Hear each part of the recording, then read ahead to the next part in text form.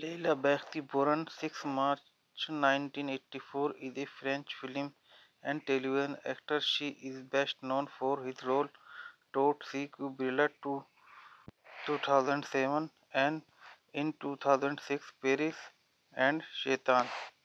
Bekhti was born in 1900, 1984 in Issy-les-Moulineaux to an Algerian family on City Belle. She is the youngest of three children. Bekhti went to drama school in Paris before entering the program at Stephen Gratz in Tolbeck. She next studied in the program of Banerjee Bakhti at the Artair Studio to live and pay for her acting studies. She worked at jobs she has self